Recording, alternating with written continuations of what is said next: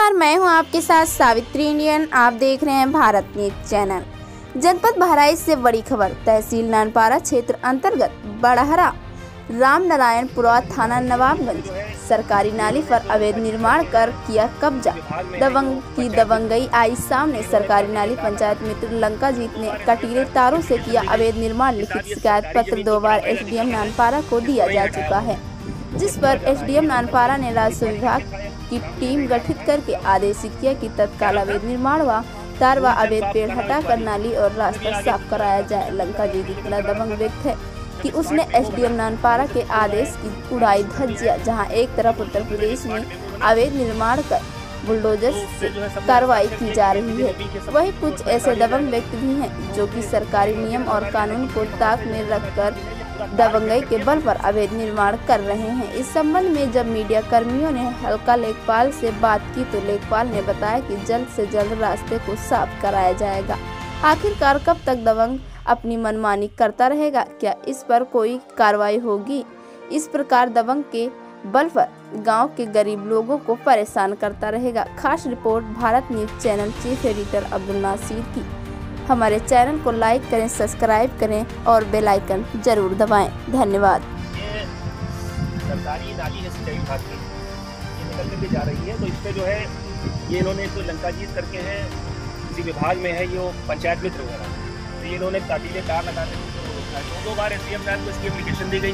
कि साहब ये सरकारी ज़मीन के ऊपर अवैध अतिक्रमण है, इसको नहीं हटाया उन्होंने। ये पूरा जा रहा है। एक अंदर कोई कोई इंक्वायरी करके था नाम मुझे नहीं जा रहा है। उसका क्या नाम था? मूलचंद बाप का नाम इतवारी। उसने भी आगे ट्रांजेक्शन कुछ करा इलीगल करा रखा था, जब स्मार्ट मेमो बना थाने से कुछ लोग आए, राजस्व कर्मी आए, उनकी मौजूदगी में जो स्मार्ट मेमो बना तो उस पर जो है सबने हस्ताक्षर किया कि ये विद इन वीक ये सब में हटा लिया जाएगा।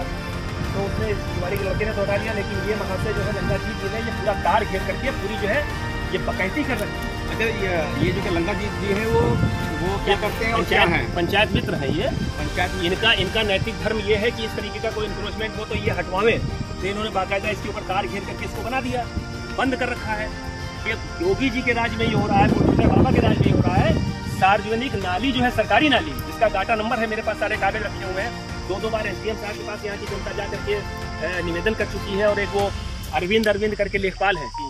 उससे मेरी भी वार्ता हुई थी, वो बार बार जो है डॉस देता रहता है कि मैं एक हफ़्ते में हटवा दूँगा, दो हफ़्ते में हटवा दूँगा, तीन हफ़्ते में हटवा दूँगा। पता नहीं लंका जी से उसको रिश्वत ले रखी है, मिला हुआ है, क्या कर रखा है, भगवान जाने।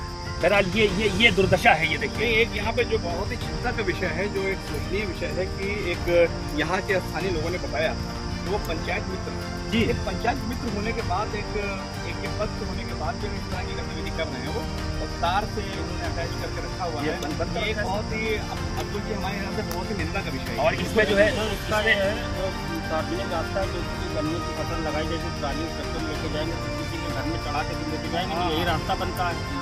हाँ, रास्ते को भी बंद रखा है। नाली के बगल में रास्ता भी है नाली के नाली के बगल में रास्ता और इसमें पेड़ लगा करके वो भी इनको पेड़ पेड़ भी लगा रखे हैं इसके अंदर।